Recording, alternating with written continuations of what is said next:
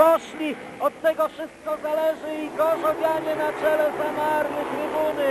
Zupełnie cicho, grobowa cisza na stadionie w Częstochowie, ale w niebieskim kasku Jocelyn stara się przedzielić prowadzącą dwójkę Gorzowian. Emil pierwszy przy krawężniku, ogląda się, czeka na Piotra Śwista. Świst po zewnętrznej, ale wyraźnie nie pasuje mu jazda takim torem. Próbował zamienić się z Emilem stronami, wejść na wewnętrzną. Teraz tak uczynił. Screen zwietrzył swoją szansę, idzie głęboko, szeroko. Emil teraz musi odbierać ataki Screena. Przepuścił Śwista, ale Świst jest zbyt wolny. Świst nie daje rady. Hemil ma utrudnione zadania, Screen nie odpuszcza. Ogromna walka po zewnętrznej Screen.